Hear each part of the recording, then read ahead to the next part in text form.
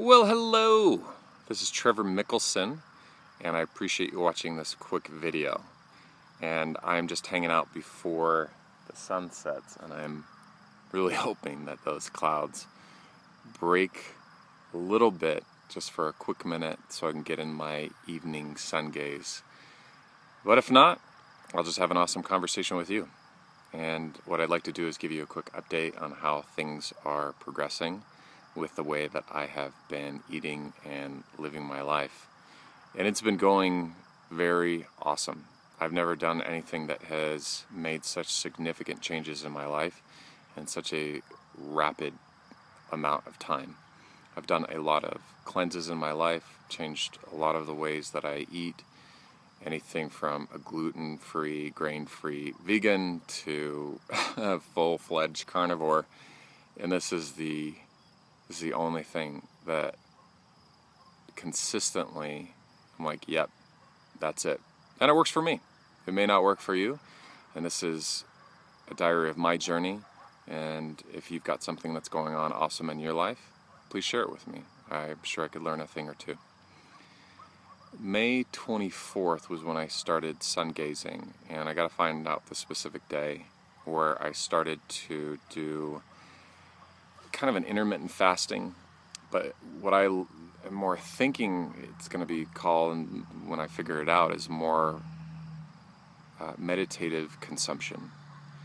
And what I mean by that is I drink when I drink, I eat when I eat, and I don't eat when I don't eat.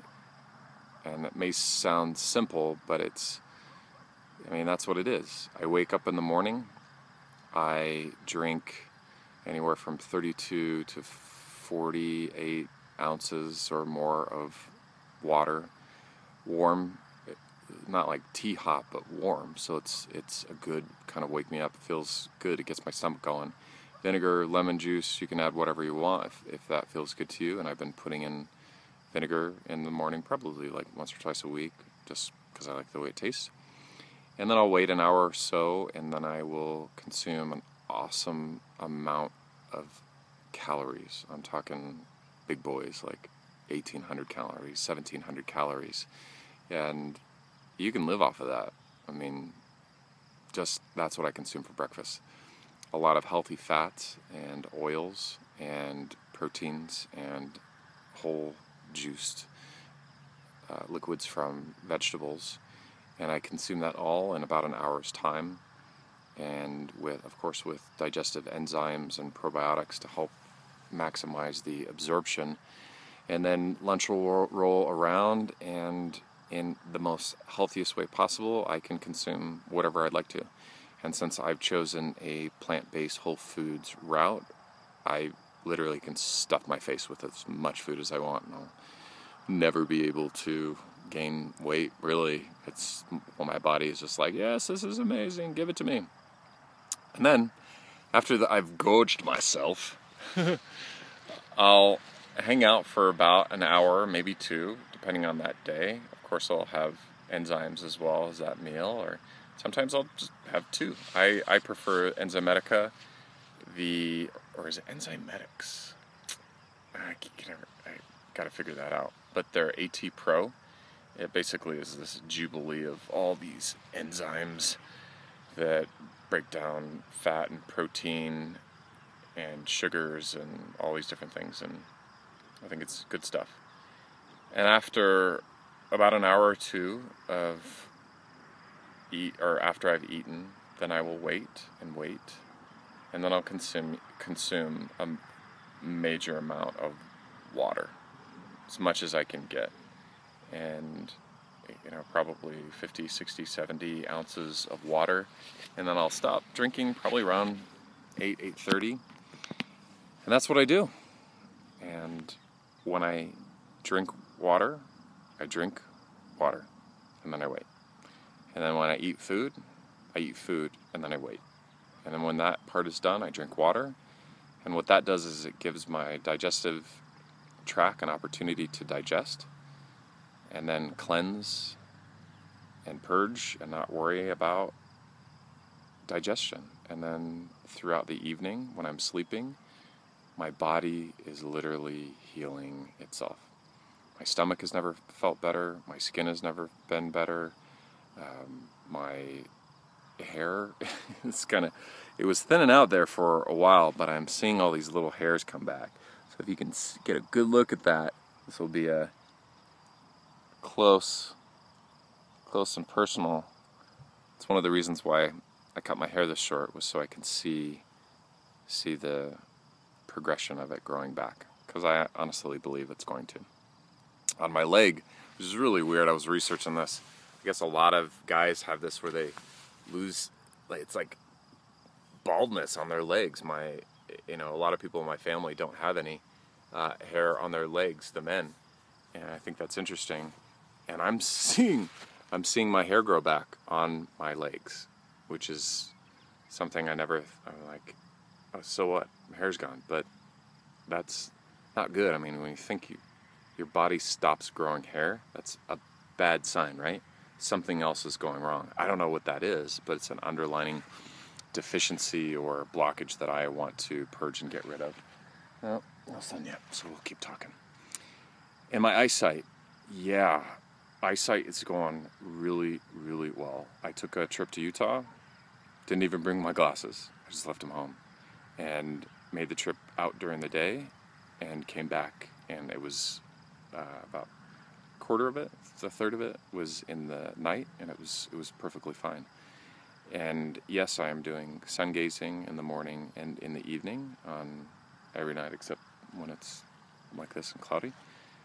And that's been going really, really well.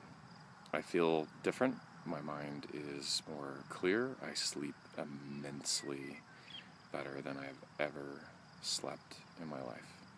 It is awesome. My meditation practices are getting easier. The words are coming to my mouth uh, easier as well. I'm just happier. My life is a lot better. And it's because of the way I believe that I've chosen to eat. And I just got done with a book club that I went to, and we read the book Before Happiness, which is written by Shawn Achor. He wrote The Happiness Advantage. And they talk a lot about your perception and your reality of how people who have who have a happy life, they're able to do that. And it goes into the structure and kind of formulas of successful patterns that people have, and through the study of positive psychology. And what it really didn't address was how people ate, it was more how they thought. And I'd be curious to have a conversation with him for him to do more research on the way that people eat through his studies or just the happier people that he finds in his studies and whatnot if, if that were to amplify or enhance the progression of the onset of happiness, which is totally possible. You just realize that you are the creator of your own universe and reality, and nobody can take away your joy or be a joy killer, right? Or at least that's what I think. But you know, everybody has their own boat to row downstream or a mountain to climb, as I've chosen not to ever do again. But overall, this whole pattern and habits that I'm forming have been immensely beneficial for me. I've always wanted a six pack, like always wanted a six pack since I knew what six packs were. And I only had a four pack. Could only get a four pack, which is kind of a bummer. And I was swimming and I played water polo and I was doing all these outdoor activities and I was hitting the gym and crunches and I used to be a bodybuilder back in like 2001. That was crazy. Could you imagine me like 215, 225 pounds? Yeah, right? And what I never realized, and what I am confident most folks don't, is that they feel that they need to focus on working out, running that extra mile, going up those extra steps, doing that extra thousand crunches, hitting that mountain harder than you've ever done before. And all they needed to do, wow, these mosquitoes are coming out, switch the way that they eat. I see so many people come out of the gym and then just gorge themselves on a sugary Starbucks drink or something, or these smart waters that just have a bunch of sugar in them, or whatever it is. I don't know if that I don't know if smart water has any sugar in it, but it's the only thing that came to my mind. But all this stuff, these empty calories that fill you with nothing, and it's really important to step back and actually ask yourself if what you are creating and consuming is what you need and getting you closer to your goals, or is it moving you further from? And it's difficult to switch that mindset at the very very beginning because you don't realize that that's exactly what it is. It's a mindset. You could say it is difficult to stop drinking sugary beverages or eating nasty, like deep fried food, or it's easy. It's easy not to drink that. It's easy to eat this. It's easy to. It's just like me. And that's actually how I started to create my own reality and switch directions in my journey and my path. Is I started to, instead of saying it's difficult to, I started to say it's easy to, and it's just like me. It's just like me to run 10 miles in a week and then some. It's just like me to wake up before sunrise and meditate and do yoga. It's just like me to start juicing five or six times a week to sustain and bring forth health and wellness that has never been experienced before. It is just like me to reach finance, financial abundance, and be job free, debt free, and boss free. And it is just like me, apparently, to get attacked by mosquitoes, huh? Or not. But, uh, you know, I would encourage everybody to keep experimenting. Einstein didn't find the right methodology to create the light bulb on round one. It took him a few times, just a few. Rome wasn't built in a day. Many a man died before got to the peak of Everest. And it took thousands of settlers to have died coming across this country for us to be able to live here in peace and harmony. And so when you're going through your own battles and your own journey, there is two ways to look at things. Difficult, it's hard too, it's frustrating, or it's easy to. It's just like me. Shifting your perspective, shifting your reality, because you are the wizard and creator of your own universe. And I can't change you, nor can you change me. But I would encourage you to give yourself enough space, focus on what really matters, and find a way to heal it is whatever you came here to heal and prove to someone in your life that you could heal that. Whether it's your mindset, whether it's your energy level, whether it's your skin, whether it's your eyesight, whether it's your outlook on work, whether it's your ability to read or your addictions to coffee or television or cigarettes or alcohol or whatever it might be, that you're here to prove that it can be done. Just like I am here showing up consistently to prove to you that I don't need my glasses anymore. And if I don't, well, maybe somebody else doesn't. Maybe somebody else will step up. Maybe somebody else will start rowing their boat down the stream maybe somebody else will find out how easy it is to find their purpose and find their passion in life. And maybe it's something as simple as eliminating dinner and consuming enough calories in breakfast and lunch, allowing your body to do what it needs to do and is designed to do. it's not designed to be in pain all the time. It's designed to be in peace this is heaven on earth. But most people would say most. A lot of people would say it's hell on earth because that's the position of their mindset. But it's not. It's heaven on earth. Like, look at me. I'm sitting in one of the most beautiful places I've ever been, about to watch an epic, epic sunset. And in the meantime, my body is this close to flipping the switch to start healing itself. It's magical. And my knees are releasing their pain, my ankles are releasing their pain, my hips are releasing their pain. I'm running like fast these days. I'm swimming faster. My yoga practice is more blissful. I feel. I mean, I, it's like I always dreamed it would be.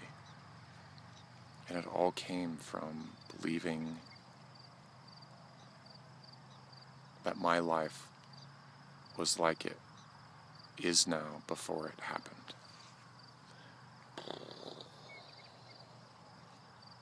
So, what do you want out of life?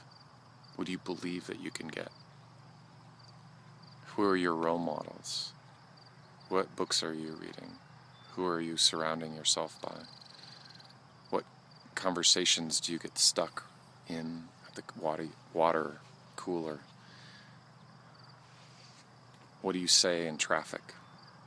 What radio stations are you listening to? What podcasts are you feeding your mind with? All these things play a part in enabling habits to create and form and enabling you to be you. But the question is, is do you want to be you? Do you like you? And if you don't, who would you be if you could? And follow that path downstream. If you're mad, be less mad tomorrow. That's downstream. If you gorge yourself and you're obese and you want to lose weight, research one thing on how to be healthier tomorrow. That's downstream. Be more passionate about something, anything. Think of something crazy like growing your own hair back losing the glasses, healing your eyes, signing up for a triathlon. Think about what that would feel like to have accomplished those things. At this moment, no. I can't read a sign like if it were way, way, way, way, way down there. But I can read a book at full arm's length when before it would have to be right up to my head, like to my face. That's huge. It's huge. And it's only getting better faster. And I would encourage you to challenge yourself to be better just a little bit every single day and believe with utmost faith that you are going to bring it into this world through your divine abilities. Because we were made in the image of God, right?